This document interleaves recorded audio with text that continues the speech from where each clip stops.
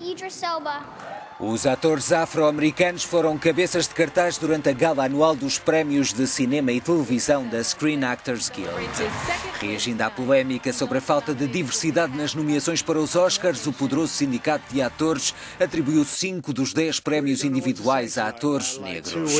Foi com Bem-vindos à televisão da diversidade que o britânico Idris Elba recebeu dois prémios de melhor ator secundário na película Beasts of No Nation e de melhor ator na série televisiva Luther.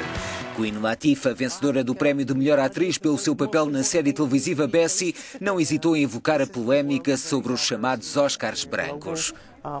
Penso que este é um dos maiores desafios do futuro num mundo marcado pela diversidade. A América é um país de diversidade e os júris que votam para estes filmes devem refletir a diversidade dos espectadores.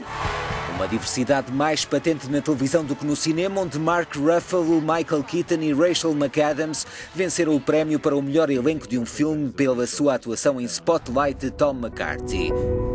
A película detalha a investigação jornalística que revelou o escândalo de abusos sexuais na Igreja Católica em Boston. The church found out about it and did nothing. A noite deu também impulso ao renascido de Alexandre Inharritu e ao protagonista do filme na corrida para as estatuetas douradas. Leonardo DiCaprio venceu o prémio de melhor ator por um quase one-man show no grande ecrã, uma história de sobrevivência em nome de uma vingança que pode significar também uma desforra para DiCaprio na competição para o Oscar de melhor ator.